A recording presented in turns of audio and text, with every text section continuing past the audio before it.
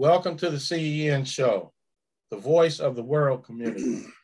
The Community Education Network is an organization that recognizes that global issues and issues here in the United States are in need of positive change. And we are a part of the change agent. I could say that. I'm your host, Roski Mascani. Tonight's guest is educator Ronnie Roberts. He's a close companion of mine and he shares meaningful information with me on a consistent basis.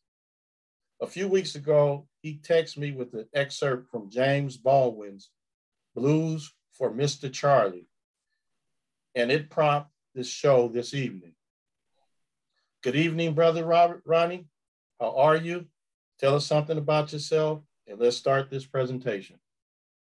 I'm great. We go, um, uh, as you said, we were longtime friends. We talked together and worked together and, and bonded in 2001. So 21 year relationship that has been nothing but positive. Um, we both math teachers by background. Uh, I guess this is my third or fourth appearance on the um, Conscious Corner show. Um, I don't know. It's one of the uh, one. James Baldwin has always been someone that just intrigued me with his with his in your face commentary and his way to um, illuminate the, um, the, the black white issue that's going on in this country that so defines us as a nation. Um, you know, and he, three of his, three or four of his key points pretty much sum up my political and and historical perspectives. Uh, the number one being neither love nor terror makes one blind, indifference makes one blind. Talking about indifference, um, it's, it's so, the masses of the population, black, white, Hispanic, whatever color, just Americans, um, our indifference to tragedy is appalling to me. I mean, we should be up in arms as a country and as a nation and as a people who supposedly follow Christian principles um, we should just be up in arms about little kids getting shot under any circumstance. We should be up in arms about grown folks getting shot. We should be up in arms about anybody getting shot. I, I realize we are a cowboy country founded on a cowboy culture. Uh, the American Revolution was supposedly um, about freeing us from the uh, confines of India and from Great Britain and their rule and the king we escaped America. We, you know, the, the, the, European Americans that are here at least were escaping oppressive rule and the King of England and, and that rule, so they could not have a king and have their own free government. And then they established pretty much a tyranny. Uh, all of the writers of the Constitution, as we know, uh, many of them, uh, many of our founding fathers were slave owners, and most of them weren't really Christians per se, they were deists and theists. They believed in a higher power, but they was pretty adamant, pretty adamant, adamant about separating church and state. They knew that the two didn't mix. You don't want to mix religion with politics, which is a pretty much a reflection of where we are today with the minority party, being the Republican Party, being in control for so many of the last few years because of two flawed institutions that the Constitution set up. Number one, the United States Senate, which gives two senators for every state, no matter the size of the state, and the Electoral College, which is uh, has decided three of the last, two of the last five uh, presidential elections, and three of the last five presidential elections, the person with the minority vote won. Uh, one man, one vote, that just kills it all right there. But again, going back to how this system was was was formed, um, you know, it's just it's amazing. You know, for guys like Ra, you, Muscani, and myself, um, we pretty much go by the uh, the uh, mantra that if I love you, I have to make conscious. I have to make you conscious of the things you don't see. Another one of James Baldwin's statements. Let me let me repeat that. If I love you, I have to make you conscious of the things you don't see. That statement just tells that statement leads me right back to you and Ra again. Um, James Baldwin again on that statement. So let me get right into reading the statement that I sent to you um, uh, right after the shooting in Buffalo, which was just absolutely appalling to me as well as the world. And um, it first it listed the 10 names, three of the 10 names. He hadn't even gotten through all of the names yet. The names are still being revealed. I keep hearing the same questions, whether we were murdered in cold blood by the state or citizens acting on behalf of the state's telepathic commands. Now, this is written by James Baldwin in 1964, which is the year I turned 18 and graduated from high school, which is also the same year that three of the last five presidents graduated from high school, May and June of 64, uh, George Bush, Bill Clinton, and Donald Trump all graduated from high school in 1964. So some of the geopolitical things and some of their reflections were basically geared by the times we were we were brought up in and were living. But going with the statement, 1964. I keep hearing the same questions whenever we are murdered in cold blood by the state or citizens acting on behalf of the state's telepathic commands, which he's referring to the police. Why? What is the government going to do to stop this? Face the answer. Nothing. What is the nation going to do about gun violence? Um, nothing. Why were the cops so gentle with the mass murderer? We're talking primarily about the Buffalo shooting when this came out. Um, face the answer. Because he's one of them. How many more black lives have to be sacrificed before something is done? Face the answer. All of them. Why doesn't God intervene? Judeo-Christian state right? Face the answer. Because he's their God, not ours. Who is going to save us? Face the answer. Nobody. And I'm thinking, to the alleged G's, you have so much smoke for the hood. Your masters trained you so well that your weapons forever point inward, inward, but never outward. Is the G for gangster or gutless? This is 1964 now, before gangs became prominent like they are now. How many more Black people have to be genocided before we make the difficult decision to be Sparta to their Athens, which is relating to the 300, that, that, that story. Richard, you're still determined to break your neck. One Juanita, well, it's a neck breaking time. I wouldn't like to appear to be above the battle. Written by James Baldwin in his um, book or series of essays and poems called Blues for Mr. Charlie. It says at the end, I'm tired of praying and I'm tired of calling on the ancestors to do our work for us. It's just so profound that that was written in 1964. Just, just incredible that the wisdom of this man written 58 years ago so succinctly applies to what's going on in the world right today.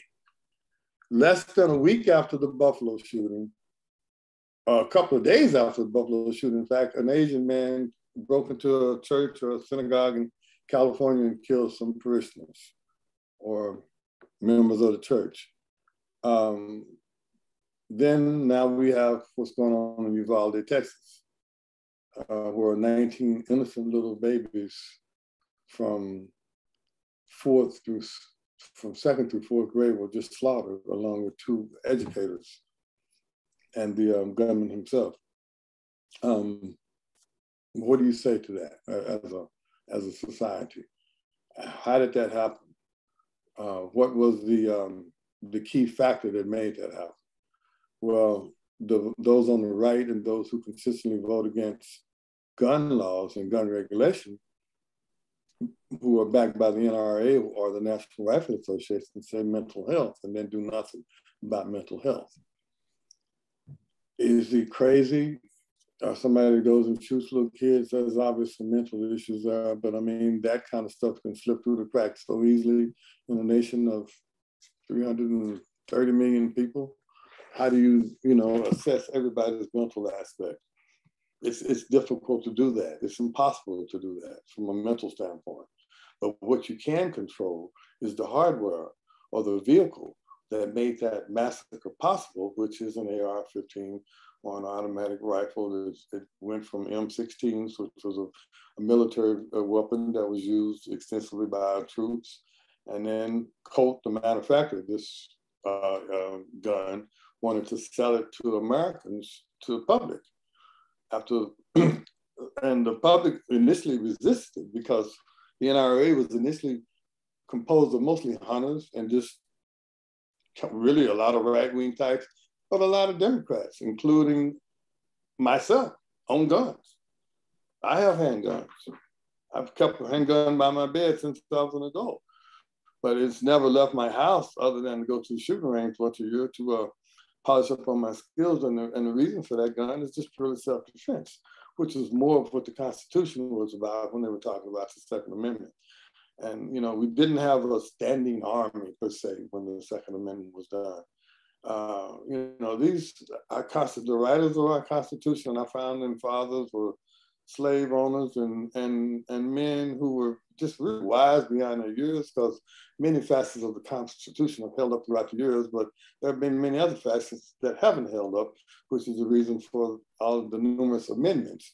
And there need to be more. There needs to be a looking at uh, a look at that to really rewrite it to a degree, but that's never going to happen because it was written to protect the majority population. You got to remember when the Constitution was written, we weren't what considered four fifths of a human, some some madness like that, and and the very writers themselves owned some of us. I mean, how does that stand the test of time? The fact that it has stood for over 200 years with just a few amendments is eye-opening from the standpoint. It tells me that the guys who put it together, the, the founders, were really some wise men, very wise men, and and made a lasting document that's going to live on forever. But you know, just as any other thing, times are changing, and you need to make changes to things that we think are embedded in our society some some of these things need fixed. Is it going to get fixed? Not in our lifetimes. Possibly so in our kids' lifetime, our grandchildren, simply because the demographics are going to change the political scene. The the one key thing that Donald Trump said that I that I that I that really opened my eyes and made me think he's not as as insane as he makes out to be is that if I don't win this presidency, it'll never be another Republican president. And it's just because of the numbers themselves. The Republican Party is already a minority party, numbers wise. They stay in power by a, a political trick called gerrymandering, which is the Democrats have done themselves too as long as they were in power. The Republicans and the Democrats have so much in common um, that it's not even funny. They're all funded by all, all, big oil. That's why you know, the oil companies right now have record-setting profits because of the high prices of gasoline. And uh, it's supported by the Democrats and Republicans because they're paying them vote. Why don't we have rational gun control legislation, which most Republicans in this country really want? They don't want to see their kids slaughtered, the little kids slaughtered, because the congressmen and senators are beholden to the National Rifle Association. Um, as I said earlier, uh, what am I? What are my bases? What do I think needs to be done? I mean, to to, to stop this. Um, a couple of obvious things. Number one, raising the age of before you can purchase uh, a rifle to or any type of weapon to 21. Uh, absolutely, we had a 10-year ban on assault rifles that was that Joe Biden was the leading senator, but it was under Bill Clinton in 1994 that we got guns, assault rifles just banned. And for 10 years, we, we had it banned. And then Republicans got in office, boom, NRA. As a result of the ban, NRA spent more money than they've ever spent, knocked out the Speaker of the House, which was Tom Foley, a Democrat, and flipped the House from Democrat to Republican which was really the start of all of the separation and the deep chasm that has come between the Republican and Democratic parties now. It really started in 1994 behind the gun control legislation that was passed by the Democrats and subsequently allowed to lapse under Republican administrations. Again, what rules America? Not black, not white, not brown, not yellow, but green money. Well, very interesting, very interesting. I wanted to get other people's take on, on what you presented, Brother Ronnie. So I, I see somebody that's new here. Jacqueline House, are you are you there? You able to speak? Maybe just listening. Okay, yeah, brother. Jacqueline House is Jacqueline House is uh, man. If I may interject, I'm sorry, Miss. I will let you go. Jacqueline House is a personal friend of mine. Uh, she called me this evening while I was napping to let me know that there had been an attack in Tulsa. A gunman has killed four people, three people at St. Anthony Hospital, where she goes to the hospital. I recently told you about my friend who had had back surgery and her doctor's in that same building. And a gunman goes into Tulsa, St. Francis Hospital, the biggest hospital in the city of Tulsa, and so supposedly looking for a doctor and killed three people. We don't know who the people are, we don't know who he is. He hasn't been identified other than to say he's a 35 year old man but he was killed in an encounter. And just another example of gun violence. We've had, since the Buffalo incident, 11 different shootings. So Ms. House is, is, is here as a guest of mine. I, I don't know if she wants to speak one way or another. She has some ideas, though, I'm sure. Okay, well, I don't know. I don't know if her uh, mic is, is on, but she could, if she'd like to, she could chime in. I'm gonna go ahead and go to Brother Machinda. Brother Machinda? Hey, all right. Yeah. Well, yeah, I was going to mention that as well. Uh, we just covered it, the Tulsa, Oklahoma incident, you know, that hospital. I had heard about that earlier myself. So there, there it goes again. But I think, you know, covering a lot of um, points that make a lot of sense, you know, I'm in agreement with. Um, you know, I don't think, you know, I'm down here in the South and um, you're not taking guns from folks down here. You know, that's, you know, it's, it, they gonna die before you take their gun. You know, that's just the way it is. Um, it's, uh, it's, a, it's a mindset. You know, I was interacting with a Caucasian today, security officer, sitting at his desk. We talk from time to time. I run into him, you know, on the job, you know, and he was talking about, uh, hey, look at this. He was showing me articles of uh, the lady in the Congress, AOC Ocasio, you know, talking about the squad. And I, it's all, you know, I, I talked to him like, you know, I said, so what's wrong with these folks? You know, I asked him, and he said, well, he used to be a police, and but he and I, we got to we, we we communicate, you know, which is good, you know, because you know, but I know when to hold and when to fold with them. But anyway, basically having that conversation that you know it's entrenched in their mindset and they're not relinquishing it. It's gonna it's gonna be through attrition. It's gonna through through natural uh, a natural transfer. You know, birth rate versus death rate, mortality rate. Um, you know, the mortality rate is eating them up. They've been aware of it for a long time. So they're hanging on for dear life in terms of their the way they see life. You know, we're dealing with cowboys, you know, that, you know, kind of manifested into a modern technological cowboy, some of them, and they're not trying to uh, unleash their their stronghold on their their way of life, their dominance, you know, who they are, what they do, their piracy.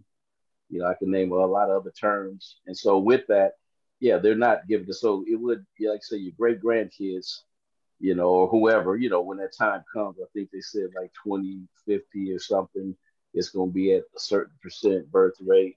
And as time goes on, like you say, things will evolve. You know, things going to fix itself naturally anyway.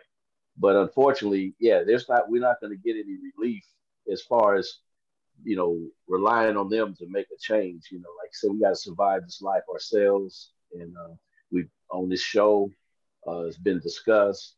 You know, about how we should work together, come together, be together, a continuous fight.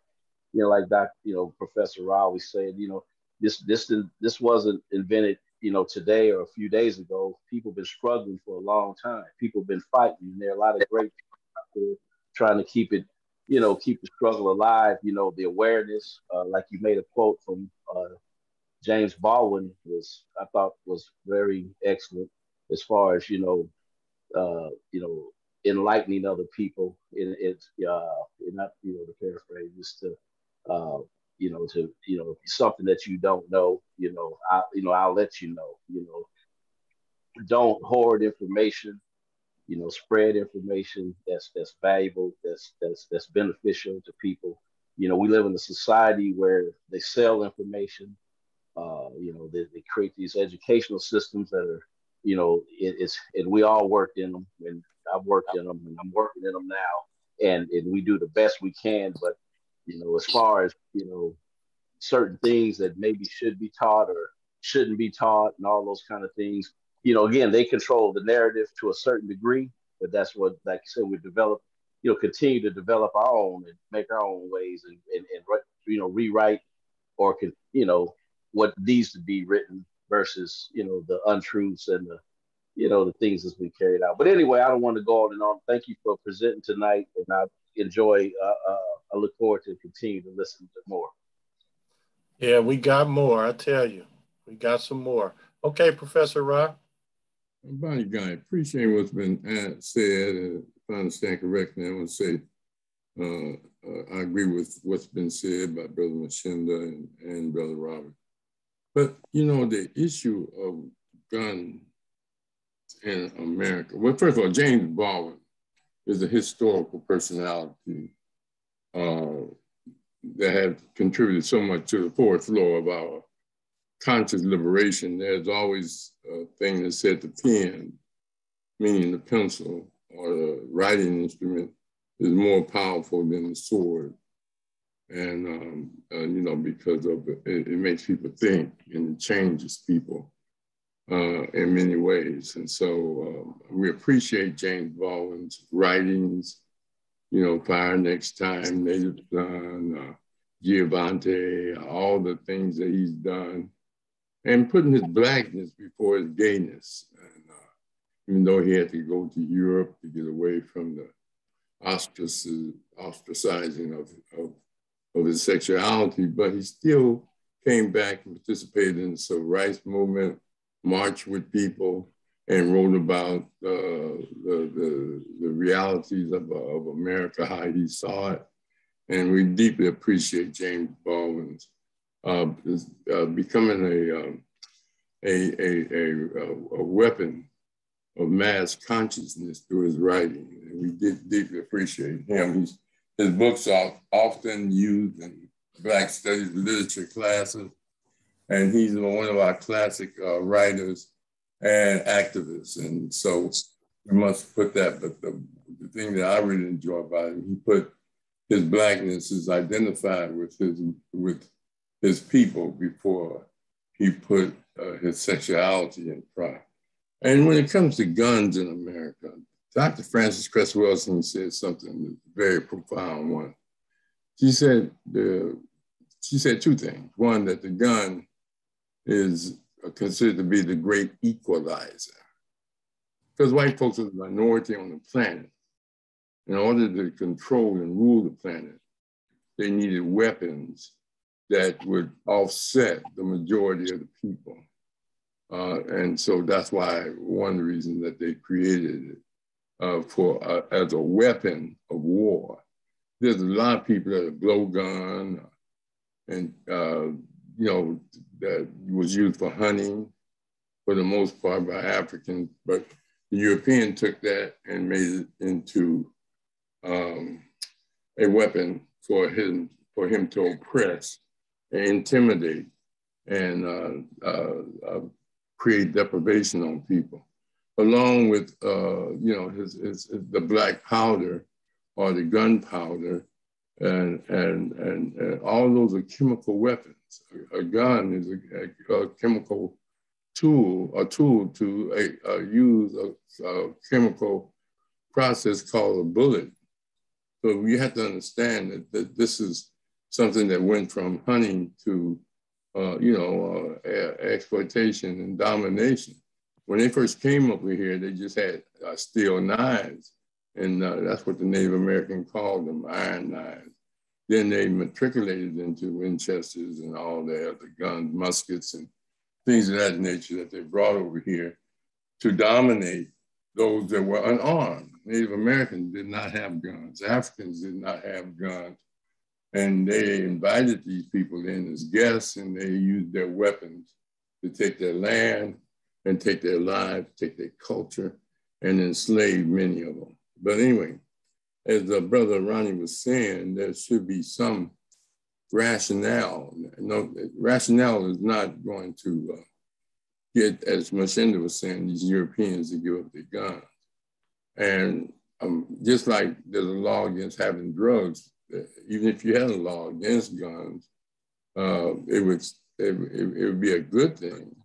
But at the same time, they just have uh, uh, you know hidden guns. That's why one reason they couldn't pass a law against liquor because they couldn't control the people, and and it created riots and created all kind of havoc in the society. So they decided to just just tax it. And so when we get ready to deal with uh, uh, gun control, uh, well, you know, the reason they don't want other people to have it. Now, let me give you an example. As Ronnie was saying about the, the mass shootings and uh, in this country saying that these, these, some of these uh, guns are mass, mass weapons uh, used to kill a lot of people at one time, and they're weapons of mass destruction. It's hard for a country to tell people to give up their guns. And they got bombs that kill people, kids and everybody.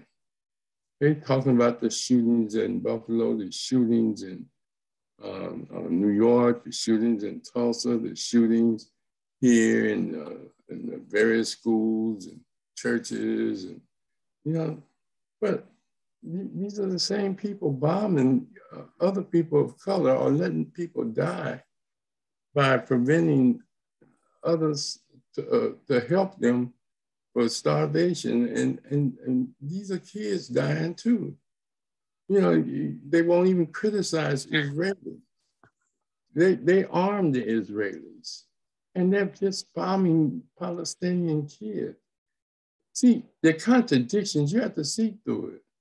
Now, yeah, if they are serious, they will pass a law about the age to buy a gun, just like they have laws about age ages to um, to drive and to buy cigarettes and liquor. Now, could there be exceptions? Yeah, with special permission and special if they meet certain guidelines. Maybe a 17, 18 year old can have a gun, you know, a certain type of gun. You understand? If if if you if you're serious. Then second, it must be required training at least once a year. Everybody have a gun have to go through some form of training, certification, and pay for it. They pay for it. Just like we have to pay to register our cars all the time in California. You know, I mean, hey, okay, you want to have a gun? I'm gonna make it hard for you to have a gun, but you have the right to have one. But I'm gonna put these regulations in. And the same thing, every gun owner should have, a, have to require to meet certain uh, standards to get a license to own a gun. You know, you have to have a license to drive a car. A car, a car is just as dangerous as a gun in many ways when you're drunk and you're driving 100 miles an hour and running into a crowd of people. You know, so uh, that's why they have these laws against that. Second, they do already have laws against people having guns. Felons can't have guns. So don't tell me everybody has a right to have a gun. Well, why can't felons have one? Who passed that law? You understand? If you can stop felons from having guns, you can stop teenagers from having guns. You see what I'm saying? A felon can never have one. You understand? But the point is, is that uh, they, they lying to the people. They lying to the people. Just like they lying is just as easy as breathing to them. You know, the illusion of that they are concerned about gun violence, that's a, that, that is the most ridiculous statement out. Then, then second, they should have a gun a license for the gun and ammunition. This man who uh, was born into uh, Texas, he bought 2,000 rounds of ammunition the same day he bought his gun. You know, that should be a license and, uh, uh, you know, um, you know, some form of checking. Like if you go to buy a gun in California, they have some of the toughest laws. You know, it takes two weeks before you get the gun. You know, if you buy it from a gun shop. You know, uh, you have to stop all gun shows. You know, what, what, what the, what's the point in having a gun show? It's to sell guns immediately, you know, and get around background checks. Third, that uh, another thing that, that should uh, uh, stop all illegal sales of guns.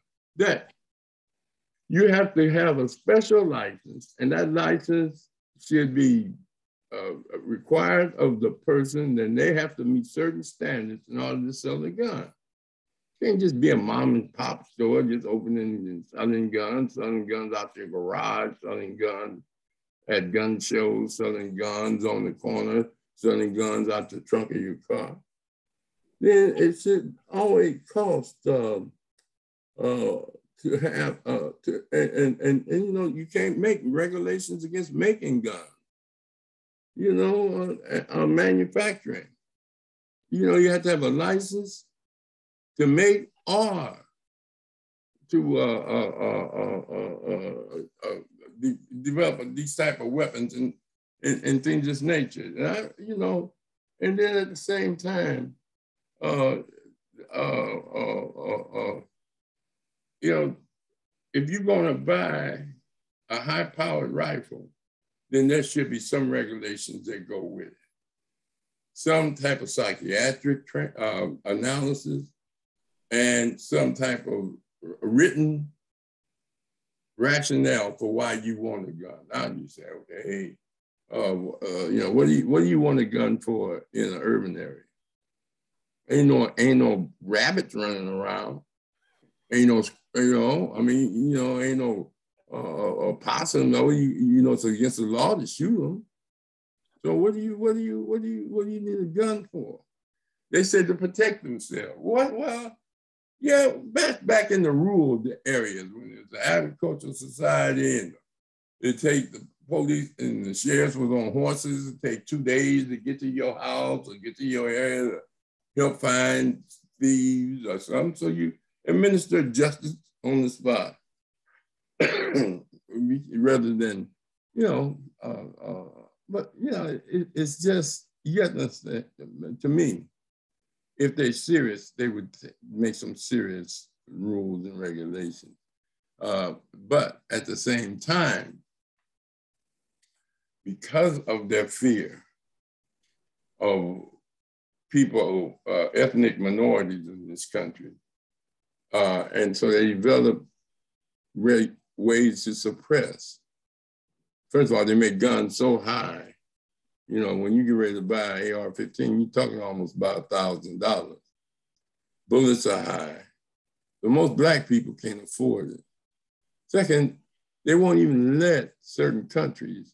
Uh, they went over to Iraq because they said he was developing weapons of mass destruction. Well, you went over there and used weapons of mass destruction to keep him from making them or having them. It don't make sense. This is a this is a psychotic people we're dealing with. And as CV uh, uh, said, uh, I forget his name, said, what kind of people are these that hate people that ain't done nothing to them? Oppress, demonize, deprive, and devastate people that have not done nothing to them. And then they keep calling them blacks and browns and things. Why not just American? Uh, uh, even though there's a question about that, uh, you know, uh, just a United States citizen. You understand? I mean, that, that, that's that's very critical. If if you're all United States citizens, then there shouldn't be no division with regards to your identity. But they make the distinction. They have race talk and race practice. But what Brother Roberts is raising uh, is, is very important and a very serious discussion. Because, like he said, I, he has guns and you know, uh, and other other people have guns and they don't want to give them up, even though he admit, I I don't even take mine out unless I get to go to the range.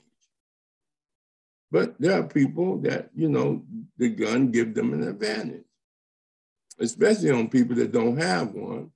And second, you can't arm everybody because people just take your gun from you, you know, off your dead body. You know, I mean, people shoot people in the back. I mean, it, it, it's a different game out there. America, a part of its cultural apparatus is oppression of people on the planet so that they can have power to determine what laws um, should be used. And the law that allows them to have guns is not just uh, a law of, of practicing a constitutional right. It's a practice to oppress the rest of the world. Sante Sana. All right, uh, Brother Mashinda had something to interject, he said. Go ahead, Brother Mashinda. No, I'm just listening, man. I just wanted to say, like, you know, down here in the south of Louisiana, you know, they, they're pushing the, you know, uh, a no permit law. You know, right now I can carry a gun with no problem. I can walk in the store with a gun on my uh, like on my hip. You know, no big deal. Ain't nobody gonna say nothing. If I get stopped by the police and I got a gun in the car, I think, man, I got a gun in the glove compartment. You, we we all know how that may play out. So I'm I'm just being hypothetical where, you know, they they look at it and uh, they'll run a make on the gun, whatever. If it's not stolen or if it's not, you know, obli- you know, the serial number is not obliterated, they give it back to you and have a nice day. Now, will it play out for us like that all the time? Maybe not. They'll probably harass us a little more, and I'm sure there's situations like that. But in but generally speaking, the the way the law is carried out here, you know, the way it's written is like, you know, there's no no checks and balances. There's, I mean, the police will check it out and say, okay, here's your gun back, whatever. And and uh, they, but they're trying to go uh, for this uh, no you, you, you know the concealed weapons license permit you know to have that to conceal it they they getting ready to get rid of that to where you don't even need a permit to conceal it you know and it's it's it's being heavily looked at and uh, Texas I think Texas already passed it if I'm not mistaken I know Texas is doing a lot over there they're doing the most in Texas and Louisiana is right next door and uh, so I'm just saying so you have these beliefs you know this, these mindsets that you know you know, again, protecting yourself is one thing, you know, but being an extremist is a whole nother thing, you know. Like I was talking about the Caucasians, you know, uh, a lot of Caucasians around, you know, working education and stuff like that, you know, down here. And uh, one of them pretty cool. And a uh, matter of fact, he kind of turned me on to the, gig that I've been having for the last 19 years. So not a bad dude in, in certain regards. He admitted that he was a he had a problem back in the day in terms of uh, you know driving a diesel truck across country, delivering whatever, and with a Confederate flag on his truck, and so that's what's his, you know that's what the problem was, you know. But you know he kind of you know he said he uh, joined the church and changed his life, and I and the dude was always been respectful to me. But that the, I'm not trying to make a the point I'm making with him though. He and I would go to lunch, you know, like every now and then, you know, I was he worked in I you know info, you know he was the IT guy, the director, and I worked in IT as well as teaching and what have you. And uh, but I would do a lot of IT work on campus with him and things like that. And uh, so we go to Subway get a sandwich or something, and then right after in Walmart, and then he said, "Hey, let's go over to the section." He go over to the gun section in Walmart and looking for bullets. All the bullets be gone. Bullets are gone. And uh, I'm like, man, why are you guys so crazy about it? This is years. This is uh, several years ago because he's been retired, I guess, five, six years. But he said, uh, you know, we preparing. That's what he said. It's a lot going on, you know. And they're uh, subscribers to the Fox News Network.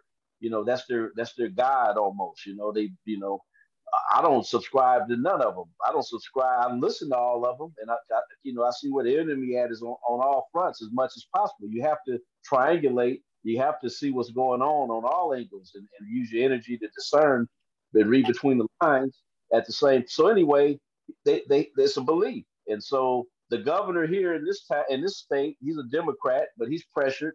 You know, he's a hunter and a, a sportsman, but he said, you know, the, the AK-47s and all that kind of stuff. He's, you know, he's not really for that. But uh, these these the other folks have vetoed him because they have enough power. They already overrode one of his vetoes for something else, and so he's pressured into giving in to a certain degree and whatever. But he's not running again. But still, you know, politically trying to save face or do whatever, you know. But a lot of these old white boys out here, man, they they used to have guns in high school, you know, in their jeeps and cars, and they don't even like their vehicles. How do I know? Because you know, I, I, you know, like I say, trying to be uh, my own little social scientist and doing my own research, and you talk to folks, and they tell you everything. And I, I've talked to several different people over a period of time, and then that was pretty common back in the uh, 80s, you know, 70s, 80s, whatever, even probably before that, you know, where they would drive to their their high school and, and park their car in the jeep, and because they're going hunting when they get out of school Nobody messes with the guns. They're just gun enthusiasts. They love guns. They hunt. They do this and do that. But the way the world is, and they feel like they're losing their freedoms, and uh, the, the the world, the way they know it, is changing. You know, Tom Metzger of the Ku Klux Klan in San Diego, spoke on it when I was down there. You know, he he he spoke on it well. He understands the the the, the birth rate and understands the future, and they don't want to change. They don't want to change. You know, so anyway, obsession with these guns and bullets and, and, and things like that, you know, and uh, it's it's just uh, it's it's it's well, it, it ends up being terrible because the a lot of the youngsters that that follow under them that that don't even understand. I mean, I wouldn't anticipate my boy, the white dude, going around shooting up people, but you never know. I mean, but I mean, again, I would, but it's, it's, it's the message that they're sending to the youngsters that's growing up in this peer group, uh, this social media age. That uh, uh, I think there's a uh, what is it? Tupac has a um, uh, the, uh, rap. You know, it's it's it's it, it's it's pretty deep. One of my favorite ones called "Dumping," and it talks about uh, you know uh, it, it, like you know, uh, you know, rebels without a cause. Like that's the bottom line. No, no, no. It says no, uh, no. They have no, uh, no cause. You know, basically they're they're fighting no cause. They, they're just just wild and you know, reckless and abandoned. They're in their thinking. You know, so which is very dangerous in the society. You know, but uh, but it's it's in there those lyrics. I can't I couldn't think I can't think of them right now, and I've heard the song a bunch of times. I'm not trying to be a rapper, but you know it's consciousness. You know, I mean, there's other things I might not agree with in rap or whatever, but no, that's my era. I grew up. You know, I I submit to that in a very very creative uh, song, and uh, in that song called "Dumping." You know, just if you should listen to it, you know, these youngsters is, is, is out of control, you know, in a lot of ways. So anyway, I just want I'm just listening, and I just wanted to throw that in here. You know what's happening down here in the South. Uh, take it easy. I'm good. Roger All right. Yeah, Roger. yeah. One second. One second, Ron. Now, uh, brother Ronnie, how much time do you have? Do you have? I got plenty. Okay, I got plenty. I just got an update on the Tulsa shooting. Uh, my friend Jacqueline House, that was on here earlier. She just found out that it was her doctor. She was just in his office a few days ago, Dr. Phillips, an orthopedic surgeon who did her back surgery. She could have been there at that time. I mean, you're talking about Machinda, you're in Louisiana, I'm in Oklahoma. Um, they're still riding around with rifles in their trucks. Uh, Oklahoma has open carry, you know. Hmm. Uh, you can get a, you had to get a license a few years ago. Now you don't even need that. So you know, it, it's in our culture, which is a sick culture, but, you know, you, you, you stop and ask yourself, for the people who don't know, what is an AR-15? It's a semi-automatic rifle, meaning the gun basically reloads itself. Every time you pull the trigger, it fires. It will fire up to 100 rounds a minute. How are you going to hunt something with that? It's first of all, it's not very accurate. It's a short-term gun as far as for shooting. You know, when you're hunting targets, you know, when they first introduced it to the to the the NRA didn't even like the gun when it was first introduced because they said, hey, they they pride themselves on accuracy. What do you need that for? But the militia groups immediately pounced on that. The gangsters, black, white, Italian, immediately pounced on these weapons. And the reason that Bill Clinton was able to push this through with the help of Joe Biden and have a 10 year ban on assault rifles is the very heart of the Uvalde shooting. What I'm saying by that is that the officers were there for uh, almost a whole hour while this man was inside the school. And they declared it as a hostage type situation, so they didn't have to rush in there rather than just a murder, which was, was just murder one. He was just executing people. But here's my thing the reason that the officers declared that was pretty obvious. For one, they were just aware of the Buffalo shooting, where the, where the guard there was the former policeman was shot in the head. No body armor covers your head, number one. Number two, they were aware he had an AR-15 from the, the sounds of the rifle going off. If they run in there, some of them die. I wouldn't run in there, but I wouldn't be a policeman either. But if you're charged with their responsibility, you know, they're trying to make it the policeman's fault that this happened. Well, who's going to run into live bullets? Finally, the Texas Department of the the Border Patrol people were the ones who really actually killed him, not the Uvalde police, not the Uvalde school system police, who's an ex-policeman and who's just not just elected to the city council. And he don't want to talk about it. I'm not really blaming him. The reason that this passed when Clinton and Biden got it through for 10 years and had the assault ban was that police officers said, we don't want to battle against folks equipped with these. So it passed. So now the policemen have changed their minds. Again, NRA influence, again, money influence, again, just sheer madness. And as, and as Ryan Machinda says, we're never going to take the guns out of America. We just want to take the guns out of certain people's hands. We want to make it difficult to, to, to get a gun. We want to make it difficult to keep a gun. And we want to make certain that kids and 18 year olds are kids. We have children, we've had 18 year olds. They're still kids. We want to make certain that at least you're at 21 years old before you do that. And it's kind of exacerbated by the fact that the last two shootings were done by 18 year olds who legally purchased these guns, by the way. It's hard to get a gun in New York the Buffalo shooting. It's hard to get a gun in New York. New York has some of the most restrictive gun laws in the nation behind California, that they still got them. But 18 year olds shouldn't be getting them. All right, Rob. See, even if they pass laws about don't have guns, people still have them. There's a law against murder, people still kill. There's a law against stealing, people still steal. You can have all the laws you want, but it would help with regards to minimizing uh, the, the people uh, just having guns and not knowing what they're doing with them or with the mentally ill. Now, the guy in uh, Texas, the governor said they got a mental ill pro- mental illness problem in all of Texas they cut the budget for mental illness services.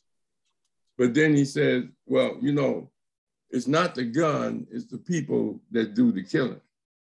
Well, if you got admitted that you have mental illnesses that's out of control in your state, that's more of a reason to pass more gun regulations and, and things.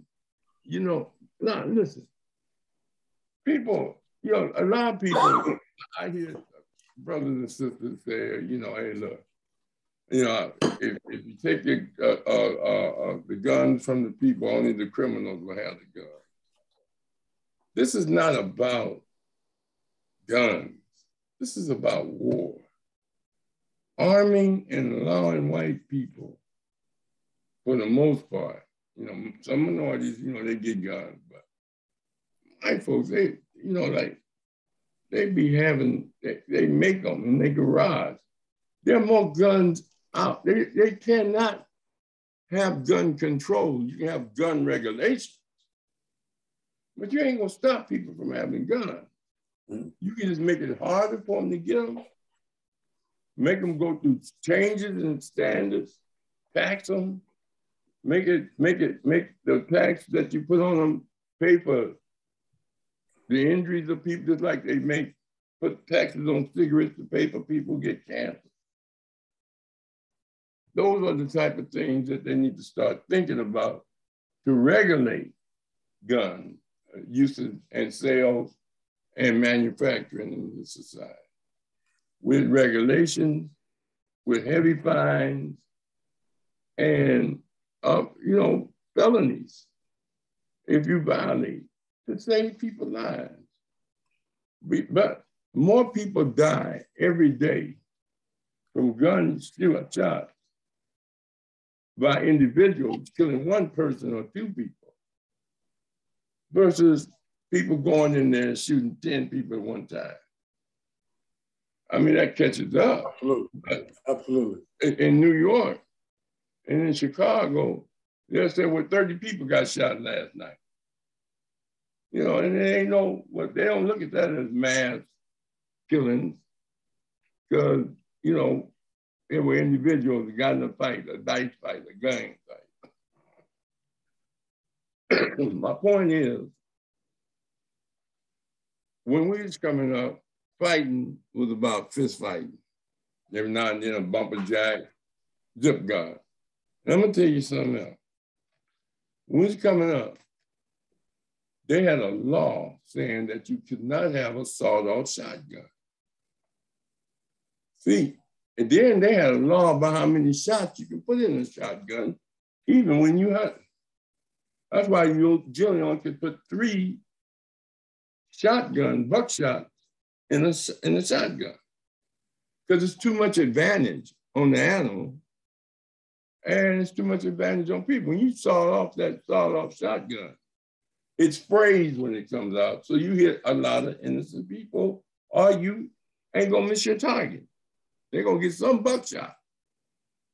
You know, I mean, they got over and under. They got so many different, they got, just like they got different model cars, they got different model guns. 3D guns, ghost guns. I mean, because it neutralizes and give them the advantage of people of color. Because they know most people of color, if they get caught with a gun, it's severe punishment. Going to jail. If white folks get caught with a gun, it's like what Machinda said, I'll keep on going. You see what I'm saying? Now, one of the biggest weapons are pipe bombs. They're all over the place. They're not even talking about them yet, but they will be. Sante Simon. All right, um, brother Ronnie, did you want to go with that video, or you want to? What you want to do? Uh, yeah, I want to do the video, but first of all, this is um, June the first and May the thirty first, and June the first were 1921 were the days of the uh, Tulsa Race Massacre, uh, Black Wall Street, as my shirt says. Remember Black Wall Street, and just want you to um, take a shout out for those people who were slaughtered in Tulsa. Uh, had no guns. The Whites just came down and killed them burned down all of their property because of an alleged man, black man touching a woman on the elevator. It's again, this is just a precursor or a result. This is just that incident is just now 101 years later, this madness is still going on about just what Ra was saying about guns having the power of being used against people of color. First American Indian, the red man. Then, you know, they brought us over here, then the black man, and then they brought the Chinese here to build the Intercontinental Railroad. We don't have Chinese contributed a heck of a lot to our system, paid them literally nothing Uh, for the slum housing that they were living in, the nasty food that they were eating. But the Chinese came here, you know, seeking the same things that the Europeans did uh, freedom from religious oppression, the ability to assimilate, the ability to stay in their own communities, and to have a way of life without political repression. Now, with this current Republican Party and the state of it, that is exactly what political oppression means. And it's all, you know, you, you stop and think um, how they got in charge, and, and they're all hiding behind the Bible. That's what's so killing that, and, and religion. You know, the majority of the Republican Party claims themselves to be the party of God. That is just so absurd. It's so absurd. I mean, God is a universal concept. Uh, you can't claim that. You can't claim that. Hell, half the damn people in the country don't even believe in it. So it's just it's just pure madness. But you know, again, it's all about power. It's all about control. It's all about are these folks concerned about these babies getting killed? Yeah, as long as it ain't their babies. Are these folks concerned about the image we have for the rest of the world? They don't really give a shit, excuse my French, about what the rest of the world thinks because they think the world revolves around them.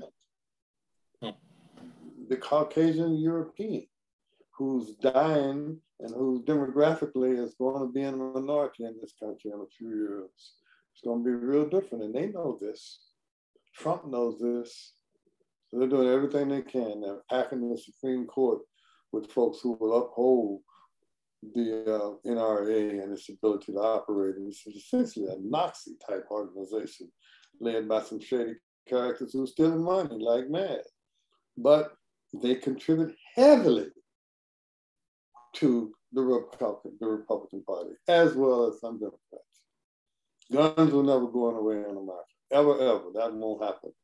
Since the assault rifle ban in 1994, we had 40 million weapons. Now they have over 200 million. Now we have 400 million guns in this country, which is about 70 million more guns than we have people.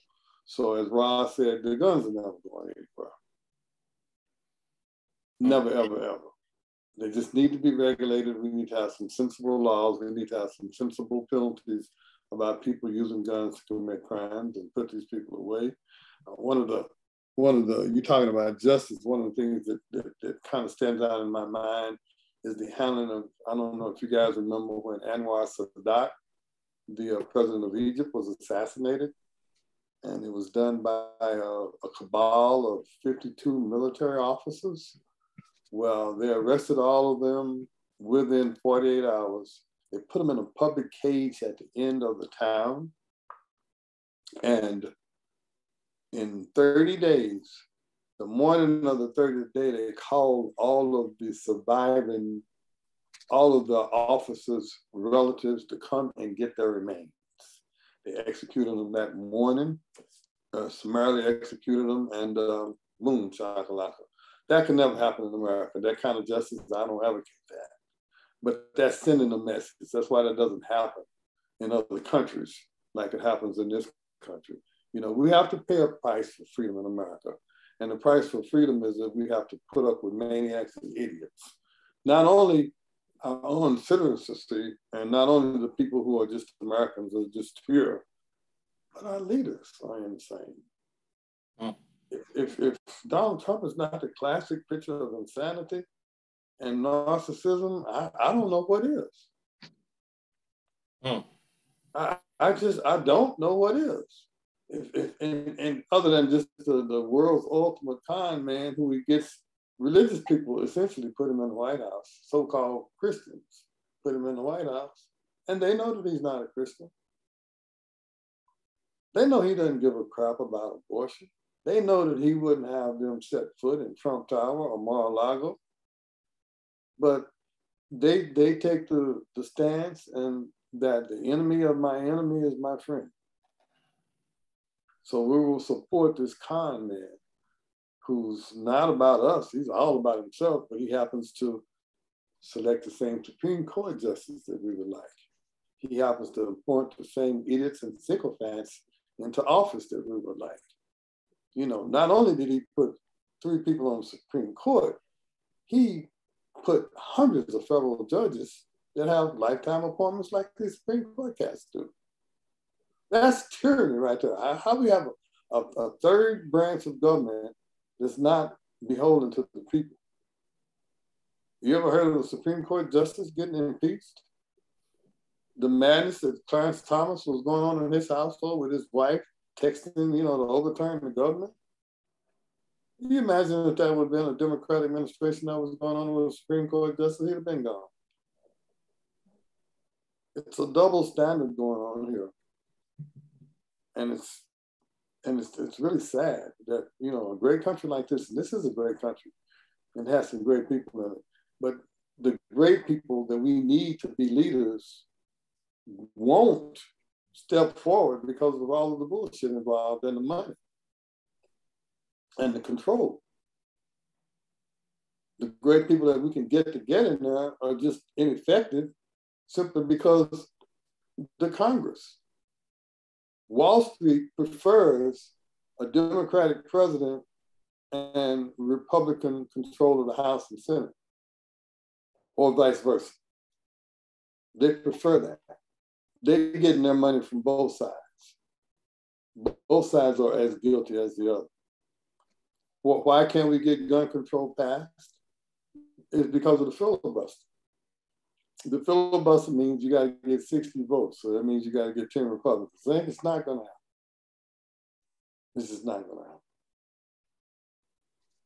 Is the filibuster a good thing for America? Yeah, we think that it should be gone, but I don't I don't know. I you know I have mixed emotions about that because you know to get around the filibuster, as Mitch McConnell says, win the White House, win the Senate. That still doesn't work. Political gridlock is the name of the game, and it's all dictated by what green money, the dollar. With Wall Street wants separate people to run the country and separate people to legislate to keep the balance, to keep the money flowing. It's all about the dollar. The deaths of little black and brown kids, the deaths of those black elderly people in Buffalo, the deaths of the Asians, the death of the doctor. That just that means nothing to them in the big picture because the big picture is all about money. Yes, sir. Um, Brother Machenda, you wanted to interject something right quick so we can get to the video? Uh, well, no, yeah, I'm just listening, but I wanted to on that gun violence. I, I can't. I was trying to think of the psychologist, a brother. I don't know. It was back in the probably like late '80s, early '90s. It was an LA Times article. Uh, this brother was, you know, had studied gun violence, the relationship uh, between you know guns and death and anyway the conclusion was what, what sticks out in my mind this years ago but he was saying that basically um, you know as, as it relates to gun ownership you know i mean you know i own one you know but somebody gave me it i didn't buy it you know I'm not justifying anything but you know i never you know i grew up in you know in the cpt you know I never owned a gun. You know, I walked the streets. I've been in the streets. I might have thought I wanted one or needed one sometime, but survived. You know, coming up. But the point is, you know, it, again, I, it, I I wasn't knocking guns at the time, like, oh, you shouldn't have a gun. But anyway, uh, this study that this site black this brother that uh, the psychologist put out was that, um, and I wish I could think of his name because I'm sure the article is still out there somewhere. But he did a study he said, "You will die. You will die by your own gun before you have to use it on somebody." You know, just on the average. You know, what does that mean statistically? You know, that you know, I mean, don't get me wrong. You know, I don't know. You know, the world is pretty wild uh, up until this point with all that's going on. What, what's been said on this podcast tonight, we know that it, they just stepped it up. You know, they just stepped they just stepped crazy up. You know, to another level. So you know, I don't I don't know um, what what the statistics are or the ratios are at this time based on his research. You know, doing the same, um, you know, uh, sampling or polling or statistical analysis um, that he used that would probably bring it up to date. But anyway, he was just making that point, you know. But there's a um, again, all I'm saying is is there's a concerted effort, there's a natural desire on their behalf to, you know, because this, you know, I mean, all the history I know about, you know, Caucasians, you know, and you know, it's like it's always been a divide and conquer type of uh, movement going on, you know, and it's and, and, and superiority and, and supremacy and, and things like that. So they're just they're they're trying to guard it with their dear life. And I just, you know, again, I'm I'm sure I'm being redundant, but uh, but I just wanted to speak on that article. I'm gonna try to think of that guy's name one day or dig a little deep and uh, pull it back out one day. All right, thank you. All right, let's go to this video. This is uh, what's the lady's name, Brother Roberts? Uh, Michigan lawmaker, Michigan State Senator oh. Mallory McMorrow. Okay, let's. It's four minutes long, so let's check it out. Thank you, Mr. President. I didn't expect to wake up yesterday to the news that the senator from the 22nd district had overnight accused me by name of grooming and sexualizing children in an email fundraising for herself. So I sat on it for a while wondering why me. And then I realized because I am the biggest threat to your hollow, hateful scheme. Because you can't claim that you are targeting marginalized kids in the name of, quote, parental rights if another parent is standing up to say no. So then what? Then you dehumanize and marginalize me. You say that I'm one of them. You say she's a groomer. She supports pedophilia. She wants children to believe that they were responsible for slavery and to feel bad about themselves because they're white. Well, here's a little bit of background about who I really am. Growing up, my family was very active in our church. I sang in the choir. My mom taught CCD. One day, our priest called a meeting with my mom and told her that she was not living up to the church's expectations and that she was disappointing. My mom asked why. Among other reasons, she was told it was because she was divorced and because the priest didn't see her at Mass every Sunday. So, where was my mom on Sundays? She was at the soup kitchen with me. My mom taught me at a very young age that Christianity and faith was about being part of a community, about recognizing our privilege and blessings and doing what we can to be of service to others, especially people who are marginalized, targeted, and who had less often unfairly. I learned that service was far more important than performative nonsense like being seen in the same pew every Sunday or writing Christian in your Twitter bio and using that as a shield to target and marginalize already marginalized people. I also stand on the shoulders of people like Father Ted Hesburgh, the longtime president of the University of Notre Dame, who was active in the civil rights movement, who recognized his power and privilege as a white man, a faith leader, and the head of an influential and well-respected institution and who saw black people in this country being targeted and discriminated against and beaten and reached out to lock arms with Dr. Martin Luther King Jr. when he was alive, when it was unpopular and risky, and marching alongside them to say, we've got you to offer protection and service and allyship to try to right the wrongs and fix injustice in the world. So who am I? I am a straight, white, Christian, married, suburban mom who knows that the very notion that learning about slavery or redlining or systemic racism somehow means that children are being taught to feel bad or hate themselves because they are white is absolute nonsense. No child alive today is responsible for slavery. No one in this room is responsible for slavery. But each and every single one of us bears responsibility for writing the next chapter of history. Each and every single one of us decides what happens next and how we respond to history and the world around us. We are not responsible for the past. We also cannot change the past. We can't pretend that it didn't happen or deny people their very right to exist. I am a straight, white, Christian, married, suburban mom. I want my daughter to know that she is loved, supported, and seen for whoever she becomes. I want her to be curious, empathetic, and kind.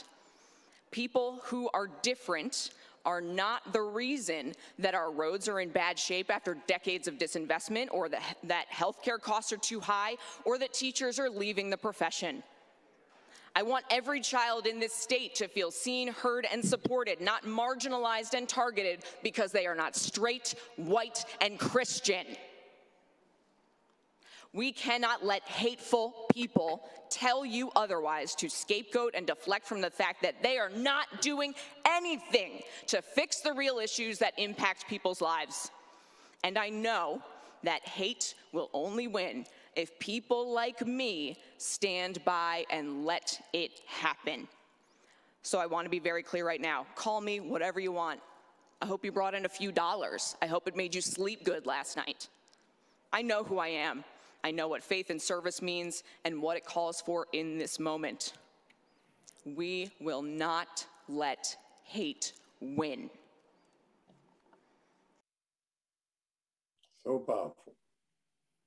Yeah, it, it, So powerful. it, it, it was uh, heartfelt.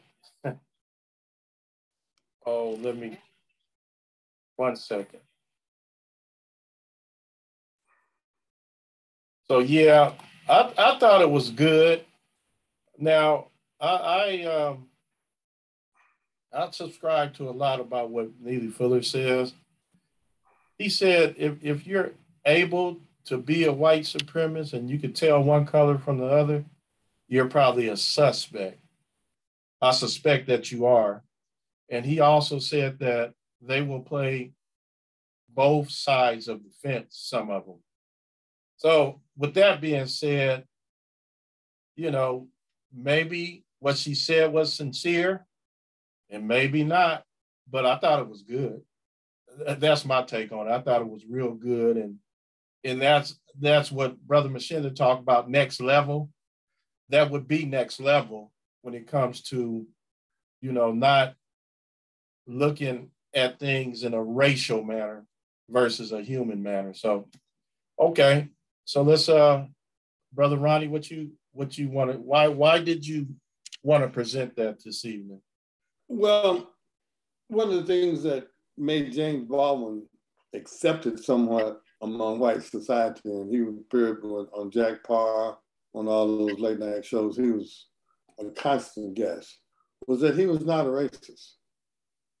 He was mentored by a, a white lady when he was five or six years old, who was sort of a nurse, nanny, teacher for him.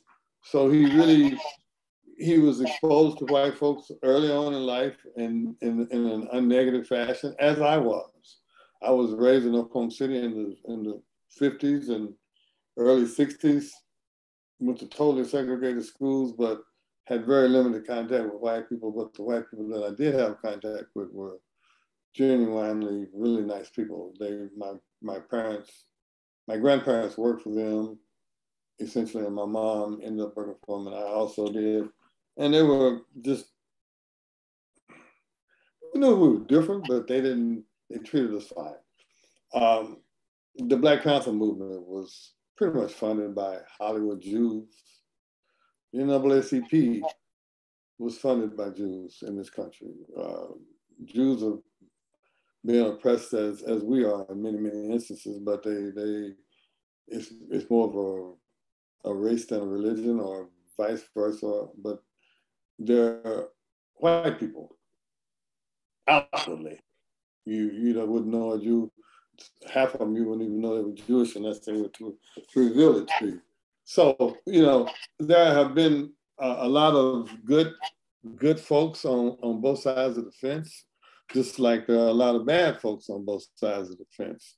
You know, you bring up the name Clarence Thomas to me, I want to vomit just thinking about him. Herschel Walker, who I used to admire as a football player, running as a senator in Georgia, and can't spell cat if you spot him the C and the A. Uh, it's those coon preachers that were hovering over Trump's desk and, and clamoring for his reelection. So, you know, it's, it's not all a black and white thing. It's just a power thing again. It's a money thing. You know, they'll embrace those of us who are willing to come over and do their bidding. Uh, one of our James Baldwin's uh, famous statements was that uh, pretty. He said one of one of the things he says. Uh, anyone who has ever struggled with poverty knows how extremely expensive it is to be poor. But another thing he said was um, it becomes clearer for some that the more closely one resembles the invader or the oppressor, the more comfortable one's life may become. So, so many of us have, clue, have achieved middle class to upper middle class status in our lives through education, jobs, opportunities, businesses, whatever. And, and we just can't be comfortable. We can't be comfortable at all. I want to close my part of the presentation with, with two more statements by James Baldwin. To be African American is to be African without any memory and American without any privilege. Let that sink in. To be African American is to be African without any memory and American without any privilege. And my last statement, which is kind of sums me up and, and you guys as well, to be a Negro in this country and to be relatively conscious is to be in a rage almost all the time. I gotta repeat that. To be a Negro in this, con- in this country and to be conscious, or relatively so, is to be in a rage almost all of the time. That's a powerful statement. It's a lot of angry folks in this world. And it's not just us, it's black men. It's a lot of white folks that are angry about what's going on in this country too. And we gotta hope and believe that it, it's gonna change for the better. It's not gonna be our generation that does it, but it's our generation, Ra and Rigo and Maskani and Mashinda, that are pushing the needle further and further into the eye. And our young folks, our grandkids, and maybe even our great grandkids will take up the mantle and make this a better world. Peace out. Appreciate that. Professor Ra, your response? You gotta uh, take it off mute. Sure how to help you with that. I appreciate what's been said, if I understand correctly. And I first want to thank Brother Ronnie for his presentation. It's excellent. He always uh, make thought-provoking presentations and encouragement.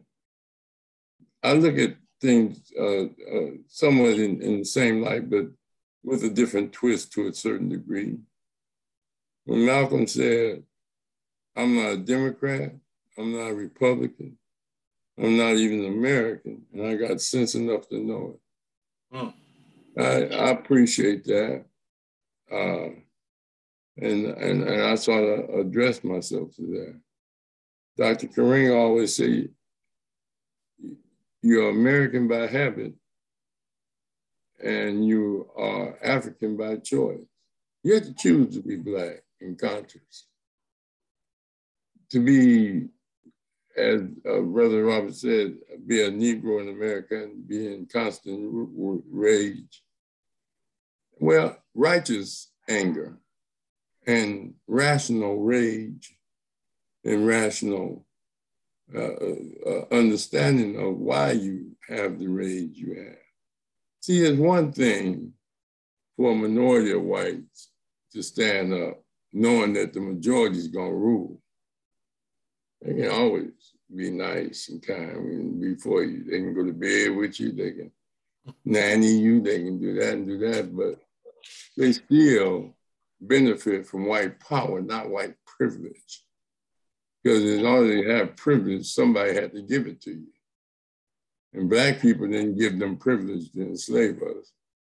It was white people with the power to do that. It's a long, protracted struggle. As Baba Keeley always says, as long as we're fighting, we're winning. As long as we're fighting, we're free. To be conscious and to live our life in a way in which we provide service, love, but our oppressor can never be our teacher. Let's say that again.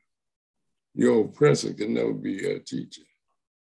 Just like the fox can't teach the chicken You understand? White folks, you know, I mean, I can learn from any white person, but they can't be my teacher. You know, teachers want to care about you. As Haki said, when you send your kids to school, send them to people that love them, not to people, teachers that say you ain't gonna be nothing, you can't be nothing, and don't know how to teach. So it's a long, protracted struggle. I, I, I, get up every day. It's a good day to struggle. It's a beautiful day to be black. Because I see the in the achievement.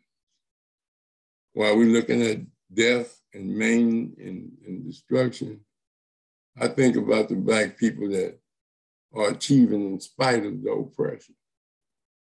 Not just in athletics, entertainment, and in and in integration and the first Negro Secretary of State and the first Negro Vice President, you know, the first black this, you know, first, uh, I look at the thousands of kids that have graduated. I look at the black people and the black males that get married and raise their family. I look at the black women that make a way out of nowhere, even they, if they have a man or don't have a man, but they making sure that men that they're raised be conscious of who they are and where they are. And, you know, it's a beautiful thing to see the beauty of Black people in the, in the midst, and the hills of North America. Of, of, of, you know, to, to, to achieve the things that we achieved. I, I love the people that's fighting for reparations. I love the people that are fighting for better health care. I love the people that are fighting for justice and uh, deal with the industrial uh, uh, prison complex. I love the people that's dealing with black homelessness. I love the people that are revolutionizing the schools and finding new ways to reach our young people. So I don't get depressed. I can be uplifted. You know, and I, I, I always say this, as Amilcar Cabral said when he was in the bushes with some of his soldiers, and they were surrounded and by the enemy. And he looked over to him, the guy next to him, and said, what we gonna do, what we gonna do? He said, we got them just where we want them. We're in the belly of the beast and we are the cancer that can transform this society into what it should be globally as an example of freedom, justice, and righteousness. Because that's our morality. We are the vanguard of morality and consciousness. We just want to live on the planet, take care of the planet. We don't just want to destroy it for greed or money, have a planet that we don't know will be here for our kids in 20 years.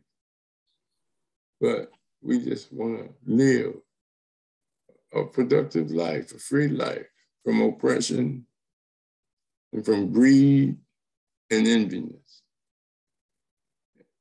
Regardless of what your spirituality is, go ahead.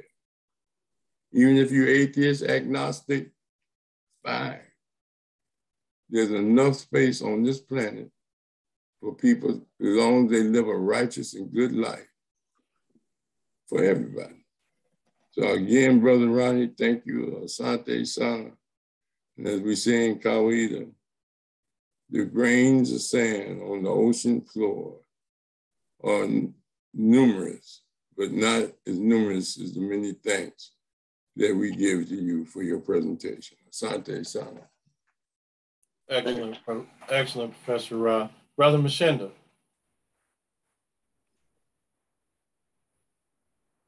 Yes, thank you guys tonight. Thank you, Brother Robert. Thank you, Brother. Appreciate it. Right. All right. Uh, excellent, Ronnie. I mean, the information was superb and it's something we needed to hear. And hopefully people could get something out of this and start doing some things better in their life. So I appreciate each and every one of you guys, Brother Machinda, Professor Rod, and Brother Roberts. Excellent job. So uh, next week, Professor Rod, we got anybody coming Monday? I'll call you in the morning. Okay. I'm trying to get uh I'm trying to get this brother named Ayatollah. Uh he's uh well he just he's just a unique individual that's been in the struggle for years. Ayatollah Marv? He's trying to get the street uh Compton, the name of street after Obama. And then uh there's an also a movement by his brothers trying to get part of Crenshaw named after Malcolm X. So we'll be, we'll be one of them. Uh, so that's Ayatollah Marv? Yeah, Marvin. Okay. Yeah, I just I, I saw him at at the uh, the what do you call it? The funeral. Jawaz. Janazas. Yeah, I saw him, and I got his number, so we could both work on that, Professor Rock. All right. So next next Wednesday, we got our brother Pruitt coming back from the African American Reparation Sovereignty, the AARS, and he's going to be talking about reparations and the program he he's a part of. So excellent this evening, everybody. Conscious Corner, and each one teach one. All right. Peace. it was good, good.